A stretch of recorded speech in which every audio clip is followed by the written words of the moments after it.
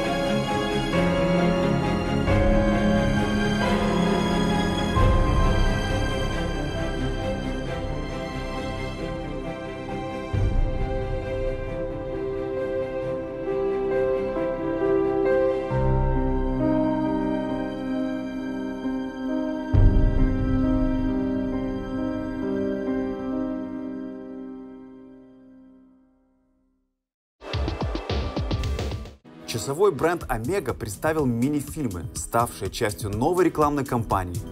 Топ-модель Александр Амбросио отправилась в захватывающее морское путешествие, а все для того, чтобы показать новую модель Омега Seamaster Aquaterra во всей красе.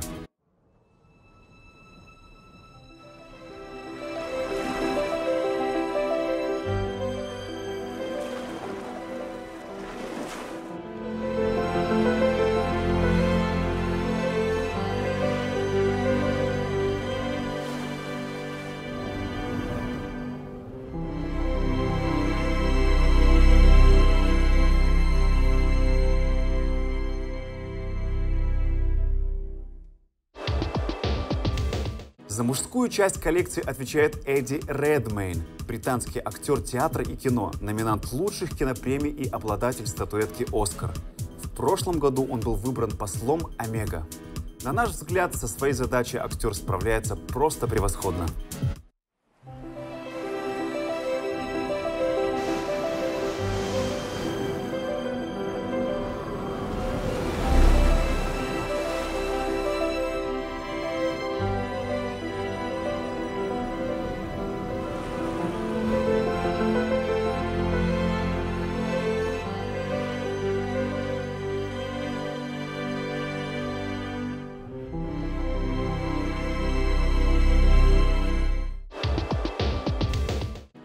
Париже в самом разгаре недели высокой моды. Лучшие фэшн-журналисты, модные эксперты и иконы стиля буквально оккупировали столицу Франции. Слушайте внимательно и не отвлекайтесь. Прямо сейчас мы расскажем о самых ярких показах текущей недели моды. Нельзя не сказать о показе Dior. В новой кутюрной коллекции креативный директор модного дома Мария Грация Кюри вновь затронула тематику маскарада и величайших женщин в сфере искусства. Но на этот раз это был не совсем маскарад, а скорее черно-белый сюрреалистический бал. Главным источником вдохновения стали картины популярной художницы-авангардистки Леонор Финни. Кстати, именно ее работы с подачи Кристиана Диора выставлялись в галерее, которую он открыл вместе со своим приятелем, еще до того, как стал величайшим кутюрье. Сюрреалистическая черная-белая шашечка – это, пожалуй, центральный принт новой кутюрной коллекции, а главный подиумный образ – идеально сидящий брючный костюм. Метод деконструкции нашел воплощение в аксессуарах и платьях, из-под которых проглядывались чулки и нижнее белье, уже излюбленный прием Марии Грации Кюри. Не менее вдохновляющей оказалась новая кутюрная коллекция французского модного дома Скиапарелли, которую представил креативный директор бренда Бертран Гийон. Коллекция получилась легкой, воздушной, романтичной и даже мечтательной, что очень хорошо определяет эстетику модного дома, который был основан в начале прошлого века. Центральной частью коллекции стали тонкие шифоновые платья с вышивкой и аппликациями, а также образы со страусиными перьями. Несмотря на то, что эта коллекция является кутюрной, в ней прослеживаются детали повседневного стиля. Белая рубашка, песочные брюки, жакеты и юбки в стиле пэтчворк – пончо. Завершаем наш обзор новой кутюрной коллекции итальянского модного дома Джам Батиста Валли. Креативный директор остался верен ДНК бренда. Вновь особое внимание уделено пышным платьям из тонкого шифона со множеством оборок – Конечно, это не самый повседневный наряд, но зато это высокая мода в лучшем проявлении. Основных цветов коллекции три – белый, черный и розовый. Есть интересные наряды, выполненные в пастельных оттенках, и всего несколько образов в ярко-зеленом и цвете фуксия, видимо предназначенных для самых смелых. Раф Симмонс знает все о современных трендах и звездах, и он безукоризненно разбирается в нюансах рекламных кампаний. Более того, дизайнер продолжает мастерски использовать американскую тематику во всех проявлениях в своих коллекциях. Наверное, именно поэтому на роль героинь новой рекламы Кельвин Кляйн он пригласил сестер Дженнер Кардашьян, представительниц самой популярной телесемьи в США. На официальном YouTube-канале и в Instagram-аккаунте бренда появился видеоролик и снимки, которые стали частью кампейна. Фотографом выступил Вилли Вандер Перри, он запечатлел звезд реалити-шоу в нижнем белье и одежде из денима. Мы с сестрами постоянно общаемся друг с другом. Определенно мы и есть современная американская семья. А Кельвин Кляйн удалось воплотить в съемке дух Америки, прокомментировала съемку Кортни Кардашьян, которая сейчас находится в ожидании первенца. Любите зарубежный кинематограф? Без ума от захватывающих триллеров, леденящих кровь? Не знаете, какой фильм выбрать для просмотра на этой неделе? Тогда советуем взять вам на вооружение нашу рекомендацию. С 25 января на российских экранах встречайте загадочный криминальный фильм «Девушка в тумане». Главный герой – психиатр Августо Флорес, человек с ненормированным рабочим днем. Холодной зимней ночью его срочно вызывают на работу, чтобы обследовать инспектора Фогеля, который попал в аварию. Пострадавший ничего не помнит о происшествии, улик на месте не найдено, но рубашка Фогеля запятнана в свежей крови, и эта кровь принадлежит кому-то неизвестному. С этого момента начинает восстанавливаться цепь невероятных событий, которые происходили месяц назад. Вдруг зритель узнает, что инспектор запутан в другом таинственном деле. В затерянном городке в Альпах он расследует криминальную загадку о пропаже 16-летней девушки – ни тела жертвы, ни следов насилия, ни показаний свидетелей. Все улики как будто испарились. Вы заинтригованы? Тогда самое время бронировать билеты и отправляться в кино. Еще одна новость из сферы кинематографа.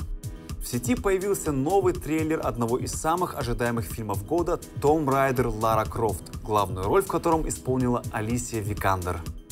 По сюжету Лара Крофт – дочь искателя приключений, который пропал без вести, когда она была подростком. Она живет в Восточном Лондоне, работает курьером, а ее заработка едва хватает на самые необходимые нужды – еду, оплату жилья и колледжа. Лара отказывается возглавить империю отца и продолжает верить, что он жив, и она сможет его найти. 21-летняя девушка отправляется самостоятельно распутывать обстоятельства его таинственной пропажи. Лара Крофт хочет завершить археологическое исследование отца и раскрыть секреты загадочного острова. Но она не знает, что на другой части планеты ее ждет настоящая борьба за выживание, и девушке придется применить всю силу, ловкость и сноровку, а также не раз воспользоваться оружием. Немного занимательных фактов. Исполнительница главной роли актриса Алисия Викандер в детстве была поклонницей знаменитой игры Том Райдер. Кстати, на роль Лары Крофт также претендовали Дейзи Ридли, Эмилия Кларк, Сирша Ронан и Кара Делевин. Это ты держишь палец на курке? Не с той семьей ты связался.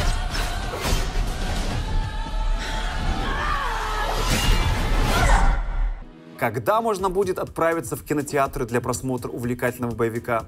Ждать осталось не так долго. Премьера в России состоится 15 марта. На прошлой неделе мы уже рассказывали вам, что совсем скоро Марго Робби и Леонардо Ди Каприо могут встретиться на съемочной площадке вновь. А все благодаря новому проекту Квентина Тарантино. Режиссер задумал фильм, основой которого станет жизнь серийного убийцы Чарльза Мэнсона. Ди Каприо уготовлена главная роль, а Робби должна сыграть беременную жену режиссера Романа Полански, актрису Шерри Тейт. Она стала одной из жертв Мэнсона и его криминальной группировки. Сотрудничество с самим Квентином Тарантино – это счастливый билет в Голливуд для любой актрисы. Марго Робби не исключение. Правда, есть одно «но». Супруг актрисы, молодой режиссер Том Аккерли, категорически против того, чтобы его супруга снималась вместе с Леонардо Ди Каприо. Еще со съемок картины «Волк с Уолл-стрит» Аккерли уверен, что голливудский актер неравнодушен к Робби. Кстати, известно, что один из самых завидных холостяков Голливуда предпочитает стройных и миловидных блондинок. Так что переживания Тома Аккерли вполне объяснимы. Марго Робби отлично подходит под это описание. На сегодня у меня все. Вы смотрели Breaking News, программу, которая оперативно рассказывает о самых важных и интересных событиях из мира кино, моды, шоу-бизнеса и знаменитостей. Не забывайте, что новые выпуски выходят два раза в неделю, в понедельник и в среду в 18.00. С вами был я, Вэл Никольский. Пока!